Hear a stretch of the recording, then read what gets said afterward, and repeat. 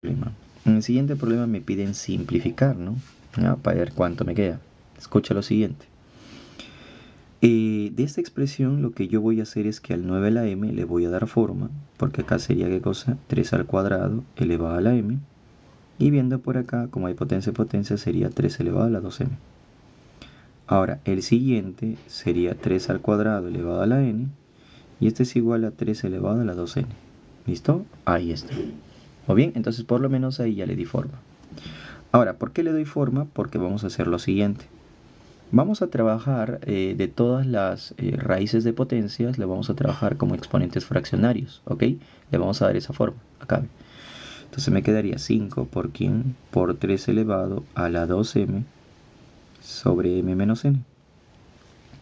En el siguiente tendríamos 6 por quién por 3 elevado a la 2n sobre m menos n.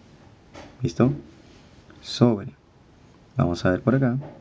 Eh, también, ¿no? 3 elevado a la m más n sobre m menos n. ¿Listo? Ahí está. Muy bien. Ya. ¿Qué más vamos a hacer por acá, pues muchachos? Como te darás cuenta, este, escucha, este de acá va a dividir al primero, que en este caso me interesa esto, ¿ve? Esto es lo que me interesa a mí principalmente. Lo mismo que este pasa a dividir con este, ¿no? Entonces por acá también me voy a interesar este, ¿no? Ahí está. Entonces, ¿cómo nos estaría quedando después de lo que yo te estoy diciendo? Como te darás cuenta, el 5 se mantiene. Pero como estos dos van a dividir, estos van a tener que restar. Pero van a restar dos fracciones, como te darás cuenta, que son homogéneas. Donde este terminaría siendo negativo, ¿no? Entonces nos quedaría 2m menos m viene a ser m.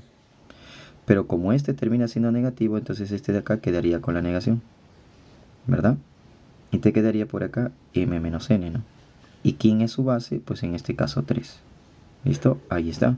Entonces me quedaría 5 por 3 elevado a la esto. Ahora vamos con el siguiente. Más 6 por 3 elevado a la cuánto. Y acá la misma manera, ¿no? De la misma manera. Estos dos van a dividir y estos dos van a tener que restar. Donde este nuevamente sería negativo. 2n menos n, porque la negación, como ya te dije, lo va a afectar. Te quedaría n.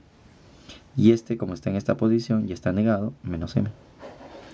¿Qué es lo que vamos a hacer con este? Con este de acá, que nos quedaría en la parte de abajo, le factorizo la negación. Me estaría quedando n menos m. Y ya está, prácticamente ya resolvimos la gran parte del problema número 8. Así que como nos quedaría? Nos quedaría 5 por, se simplifica y nos quedaría la 1 más 6 por. Se simplifica y date cuenta que de acá solamente me queda menos 1, ¿no? Elevado al cubo sería un tercio. Ya, pues ¿cuánto me queda en el primero? 15. Y en el segundo me queda 2. O sea que la suma ¿cuánto vale? 17. Y ya está. Esa sería entonces la respuesta